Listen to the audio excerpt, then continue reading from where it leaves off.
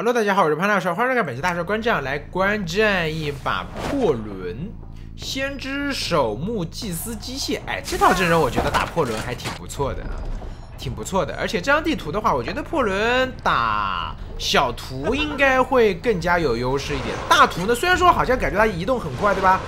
但是大图破轮控不住场的，小图的话，它其实可以在那个。防守的过程当中去往外打一打，然后你这边无伤就没关系。我回来以后把你们两个人都滚了以后，一手爆打一波伤害，其实对于破人来讲节奏也不算特别亏。但大图的话可能就没办法打了，这个是个人现在的一个理解，还得往后看。直接打一刀，这一波先打一刀，然后再滚，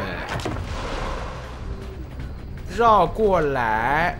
先知有鸟，他这边是想用爆把这先知给爆死，可能因为他带的是个张狂，天赋上面可能是张狂加底牌，看一下，张狂加底牌，然后点了一点拘禁狂，但这个点位不太好绕啊，加速，哎呦，刚才的尖刺没有能够打出伤害，因为先知的鸟我记得好像是无法抵挡这个刺的一个伤害的。再丢晕住啊！不让你鸟用出来，可以。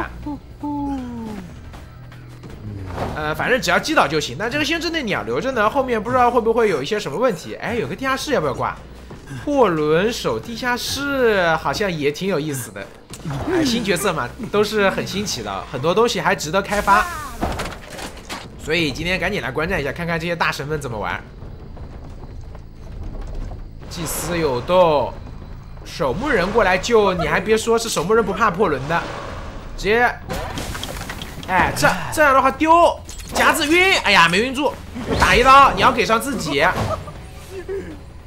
这一波对于守墓人来讲真的很可怕的，万一对吧？你这被晕住了，不晕住了好像也就这样打一刀，差差不多，晕住了也不可能过半，因为这个人刚上挂的啊，仔细一想好像也差不多。夹一手爆一下，直接爆掉带走。哎，这破轮熟练度还是很高，对于技能的一个释放的一个节奏感很好。挂过去干扰外面的电机吗？往外挂一挂，祭司是已经过来了，电机只剩下最后一台了。因为这套阵容修的比较快的，机械先知对吧？加祭司外面都修的挺舒服的。滚一手，再滚。这里夹子夹住，一刀带走。先知是有一只鸟的，先知在刚才被追击的过程当中已经吸出了一只鸟。我们看最后外面的电机的遗产在哪里啊？遗产的话好像已经没有了，那还差一台新机。破轮这边选择慢慢的控场来打，守墓人在补这边鬼屋的电机。如果能找到先知把这先知挂飞了，我觉得守墓人啊不是这个破轮是一个保平争胜的一个局。但是如果说找不到这先知，或者被这先知牵制起来，外面的电机其实修的也快的，因为借尸娃跟守墓人一起在合修，破译加速已经起来了。这边人没盘到，没盘到，要不守电机的？没办法，这东西你找这个人，可能就对吧？没有那个上，没有那个上线的呀，这个时间。娃娃这边一刀带走，守墓人还有两根铲子，但这守墓人如果说被滚到一下，或者只要人过去就行了。切插眼手带电机可以，这一波切插眼我觉得很有机会，只要能控住电机，因为外面的话求者相对来说现在状态不是很好，跟破人刚正正面，然后由于是路人局的话，他们的一个调整状态的一个节奏也不是那么的快啊。先知又开始蹲了，哎，这先知，哎呦，这把这先知其实打的挺好，前期牵制的。时间也够，还吸出了一只鸟，找到机械师，再滚回去那边继续找这两个人，开着尖刺，先滚，滚，好切，切完以后守墓人直接被爆死的，爆，交铲子都没有用的，插两个眼，这个守墓人不能挂了吧？挂上祭司，外面一压，反而他的一个倒地时间本来要自起的一个时间，变成了直接就是会被哦，他往外挂，往外挂也行。往外挂这边看下先知的一个电机差多少？一半。哎，挂回去再。这挂上，虽然祭司一刀没，但是外面的洞已经连好了。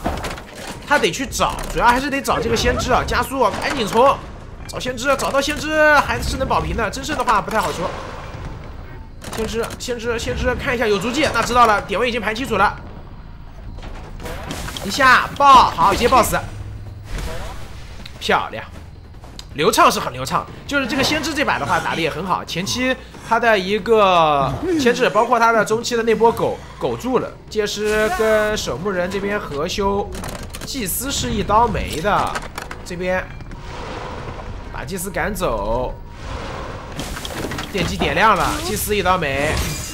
现在的轮 CD 还没好，过来找到机械师，平局是有了，胜面的话还得看，还得看。这里抓谁？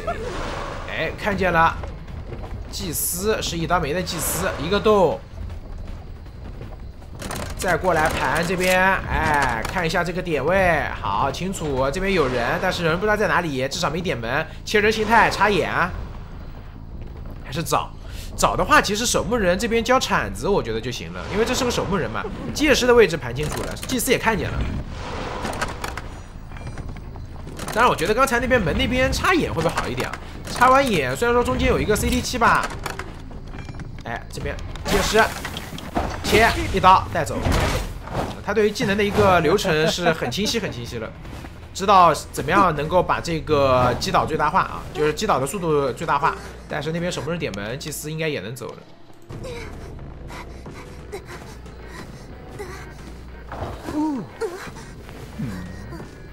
两边的话，这把打的还是质量比较高的啊，非常好看的一场。那也是感谢大家收看，我们下期再见，拜拜。